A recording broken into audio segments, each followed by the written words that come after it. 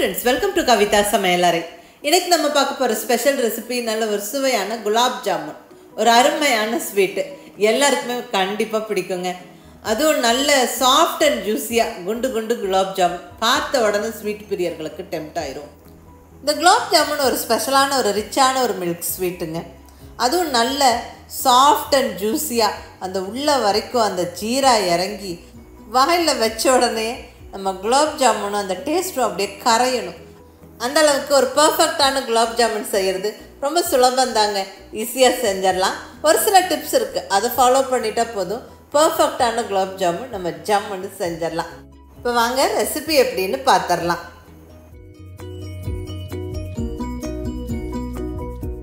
இப்போ ஃபஸ்ட்டு ஸ்டெப்பை நம்ம சர்க்கரை பாக்கு ரெடி பண்ணிடலாங்க. இங்கே ஒரு அடிகனமான கடாய் வச்சாச்சு. இதில் ரெண்டு கப் அளவுக்கு சர்க்கரை சேர்த்துக்கிறேன். அடுத்ததாக இதில் ரெண்டு கப்பு தண்ணி.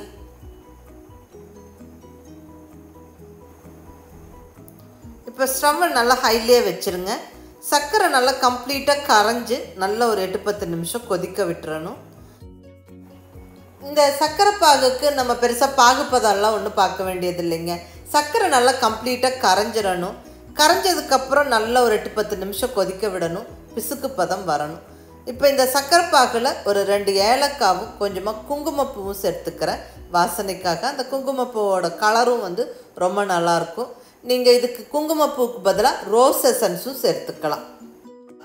இப்போ நல்ல சக்கரை பாகு கொதிக்குது பாருங்கள் நல்லா இந்த மாதிரி ஒரு பத்து நிமிஷம் கொதிக்க விட்டுருங்க. அதாவது கொதித்து கொஞ்சம் திக்காகணும் ஸோ ஒரு பத்து நிமிஷம் நல்லா கொதிக்க விட்டுருங்க. இப்போ பாகு பதம் செக் பண்ணலாம். அதாவது நம்ம இப்படி பாகை தொட்டு பார்த்தோம்னா பிசு பிசுன்னு இருக்கணும். விரலுக்கு நடுவில் இப்படி வச்சு பார்க்கும்போது அந்த கம்பி பதம் வர ஸ்டார்ட் ஆகிற ஸ்டேஜ் பாருங்கள் இப்படி வர ஸ்டார்ட் ஆகுது பட் உடையுது. அவ்வளோதான் அதுதான் வந்து பக்குவம். நம்ம இப்போ ஸ்டவ் ஆஃப் பண்ணி விட்டுறலாம். நான் இப்போ இங்கே இந்த சர்க்கரை பாகை இன்னொரு பவுலுக்கு மாற்றிட்டு ஒரு தட்டை போட்டு மூடி வச்சிடுறேன். அவ்வளோதாங்க நல்லா பர்ஃபெக்டாக சர்க்கரை பாகு நம்மளுக்கு ரெடி ஆயிடுச்சு. இப்போ அடுத்த ஸ்டெப்பை பார்த்துடலாங்க இப்போ இங்கே குலாப் ஜாமுன் அந்த பர்ஃபெக்டான மெத்தடில் செய்கிறோம் அதாவது ஃப்ரெஷ்ஷான கோவா யூஸ் பண்ணி அதாவது ஸ்வீட் சேர்க்காத பால் கோவா யூஸ் பண்ணி நல்ல பாலை சுருங்க காய்ச்சி பால்கோவா ஸ்டேஜுக்கு கொண்டு வந்து நம்ம இந்த ரெசிபியை பண்ணலாம். இது வந்து சர்க்கரை சேர்க்காத பால்கோவா பால் பொருட்களெல்லாம் விற்கிற கடைகளில் இந்த கோவா வந்து ஈஸியாக கிடைக்குங்க. சர்க்கரை சேர்க்காத கோவான்னு சொல்லி கேட்டு வாங்கிக்கோங்க. இப்போ நான் இங்கே இரநூத்தி ஐம்பது கிராம் நல்ல ஃப்ரெஷ்ஷான கோவா எடுத்துருக்கிறேன் ஸ்வீட்லெஸ் கோவா. இதில் அரை கப் அளவுக்கு மைதா சேர்த்துக்கிறேன். நல்ல சாஃப்டாக பிசைஞ்சுக்கணும். இப்போ இது கூட ஒரு சிட்டிகை கால் ஸ்பூனுக்கும் கம்மியாக ஜஸ்ட் ஒரு சிட்டிகை குக்கிங் சோடா பேக்கிங் சோடா சேர்த்துக்கிறேன். இதெல்லாம் நல்ல ஈவனாக ஒன்றா கலந்து பிசைஞ்சு விட்டுருங்க. மைதாவோட கோவா சேர்த்து பிசைகிறோம் இந்த மாவோட பக்குவம் எப்படின்னா அதாவது மாவு ரொம்ப டைட்டாக இருக்கக்கூடாது பட் சாஃப்டாக இருக்கணும். மைதா சேர்க்கும் போது சப்போஸ் ஒரு சில சமயம் டைட்டாக உங்களுக்கு ஃபீல் பண்ணிங்கன்னா ஜஸ்ட் ஒன்று அல்லது ரெண்டு ஸ்பூன் தண்ணி மட்டுமே சேர்த்து பிசையுங்க. அதிக தண்ணி விட்டுறாதீங்க. ஒன்று ரெண்டு டீஸ்பூன் தண்ணி மட்டுமே சேர்த்து நல்லா இந்த மாதிரி சாஃப்டாக பிசைஞ்சு விட்டுருங்க. நான் இங்கே ஒரு ரெண்டு டீஸ்பூன் தண்ணி மட்டுமே சேர்த்துருக்குறேன். பாருங்கள் எல்லாம் நல்லா ஒன்று சேர்ந்து வந்துருச்சு. நல்லா குயிக்காக பிசைஞ்சாச்சு. நல்லா சாஃப்டாக இருக்குது அது நம்மளுக்கு கைக்கு பிசைய பிசையவே தெரியும். கோவா வந்து ரொம்ப ஒரு சாஃப்டான இன்க்ரீடியண்ட் அதில் கரெக்டான அளவு மைதா சேர்த்து பிசையும் போது நம்மளுக்கு நல்லாவே சாஃப்டாக தான் இருக்கும். மாவு கெட்டியாக இருக்காது பாருங்கள் இந்த அளவுக்கு நல்ல சாஃப்டாக இருக்கும். இப்போ அவ்வளோதாங்க மாவு வந்து ரெடி இப்போ இதை வந்து சின்ன சின்ன பீசஸாக டிவைட் பண்ணி போட்டுடலாம் ஸோ நம்மளுக்கு உருட்டுறக்கு ஈஸியாக இருக்கும். எல்லாமே ஒரே சைஸாக நம்ம உருட்டி எடுத்துக்கலாம். ஸோ ஃபஸ்ட்டு இந்த மாதிரி சின்ன சின்னதாக டிவைட் பண்ணிவிடுங்க அதுக்கப்புறம் அதை எடுத்து நம்ம உருட்ட ஆரம்பிச்சிடலாம்.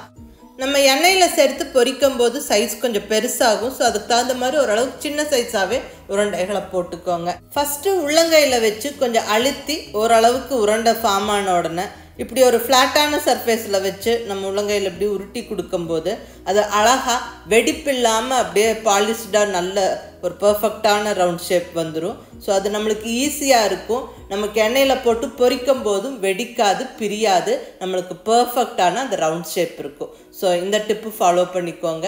நல்ல உலங்கையில் உருட்டிட்டு நல்ல ஒரு சப்பாத்திக்கல் மேலே வச்சு இப்படி நல்ல ஒரு உருட்டி கொடுத்துருங்க. அழகாக ஷேப் வந்துடும் அவ்வளோதாங்க நல்ல பர்ஃபெக்டாக நம்மளுக்கு உருண்டைகள் உருட்டி எடுத்தாச்சு. இப்போ குலாப் ஜாமுன் பொரிக்க ஸ்டார்ட் பண்ணிடலாம். இப்போ இங்கே ஸ்டவ்வில் நல்ல ஒரு அடிகனமான கடாய் வச்சு அதில் எண்ணெய் தேவையான அளவு சேர்த்தாச்சுங்க. ஸ்டவ்வை மீடியம் ஃப்ளேமில் கண்டிப்பாக வச்சுக்கோங்க. எண்ணெய் அதிக சூடாகிடக்கூடாது ஆகிடக்கூடாது கைப்பொறுக்கிற சூடு இருக்கும்போதே நம்ம வந்து அந்த ரெடியாக வச்சிருக்கிற குலோப் ஜாமுன் உருண்டைகளை போட்டு விட்டுறணும். ரொம்ப சூடானதுக்கப்புறம் நம்ம உருண்டைகளை சேர்த்தா மேலே டக்குன்னு கரிஞ்சிரும். உள்ளே வெந்தராமல் போயிடும் அப்போ உள்ள மாவு மாவாக இருக்கும். ஸோ கண்டிப்பாக நம்ம வந்து எண்ணெய் வந்து ரொம்ப சூடாகிறதுக்கு முன்னாடியே குலோப் ஜாமுன் அந்த உருண்டைகளை போட்டுவிட்டு ஃப்ரை பண்ண ஸ்டார்ட் பண்ணணும். அந்த குலோப் ஜாமுன் உருண்டைகள் மெதுவாக வெந்து அப்படியே அது ஃப்ரை ஆகணும். அப்படியே கலர் வந்து அந்த கோல்டன் கலருக்கு மாறி வரணும். ஸோ ஸ்டவ் ஃப்ளேம் கண்டிப்பாக சன்னமாக வச்சுக்கோங்க. அது மெதுவாக ஃப்ரை ஆகட்டுங்க. இப்படி அந்த மேலே கரண்டியை வச்சு இப்படி சுற்றி விடுங்க. ஸோ ஈவனாக வந்து எல்லா சைடும் ஒரே மாதிரி கலர் வரும். அந்த உருண்டைகள் அழகாக ஒரே மாதிரி சுற்றி கலரும் வந்து ஈவனாக வரும். பாருங்கள் கலர் வந்து அப்படியே அந்த கோல்டன் ப்ரௌனாக மாறிட்டே வருது.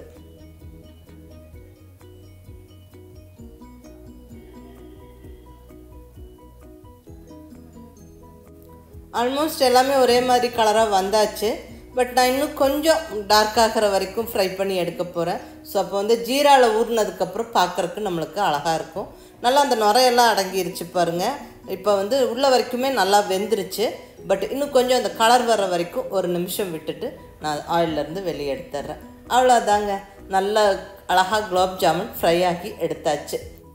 பாருங்கள் பர்ஃபெக்டாக ஃப்ரை ஆகிருக்கு வெடிப்பெதும் இல்லாமல் நல்ல அழகான அந்த கலரில் ரவுண்டாக அழகாக நம்மளுக்கு குலாப் ஜாமுன் ஃப்ரை ஆகிருக்கு இப்போ நம்ம ஜீராவில் போடுறோம்.